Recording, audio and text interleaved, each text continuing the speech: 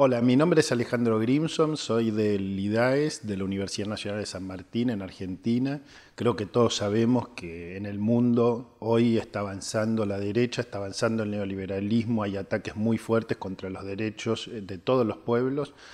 En América Latina esto lo estamos sufriendo de manera especial y especialmente también las ciencias sociales y las humanidades y todo el pensamiento crítico está en riesgo en este momento. Por eso me parece clave poder encontrarnos en el primer foro mundial de pensamiento crítico que se va a hacer en Buenos Aires del 19 al 23 de noviembre del año 2018. Te espero, es un lugar muy importante para que nos podamos encontrar y pensar juntos, porque pensar también ayuda a cambiar el mundo.